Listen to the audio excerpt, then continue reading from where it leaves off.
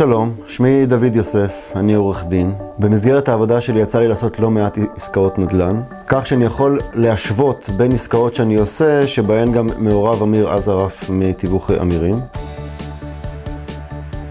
אמיר הוא אדם שמעורב בכל עסקת נדל"ן מהרגע הראשון ועד הרגע האחרון גם שהוא לא חייב. זאת אומרת, גם לאחר החתימת הסכם שבו נגמר לכאורה אה, התפקיד של, של המתווך, הוא עדיין מעורב לראות שהכל בסדר, שנרשמה הערת אזהרה, שהכל הולך בסדר עם המשכנתה, שאחר כך יש העברת זכויות. הוא מעורב בכל דבר, ובזה יש יתרון אדיר. עוד יתרון של אמיר עזרף, שאני מאוד אוהב אה, לעבוד איתו, זה שהוא אמין מאוד. שזה ערך מוסף לא מבוטל אצל איש מקצוע, שאתה יודע שאתה יכול לסמוך על האיש מקצוע הזה מהרגע הראשון ועד הרגע האחרון שבו הוא מעורב. כל דבר שאני אבקש ממנו, כל מסמך שצריך, הוא מיד יודע במה מדובר, הוא יודע לאן לגשת, איך לברר את הפרטים.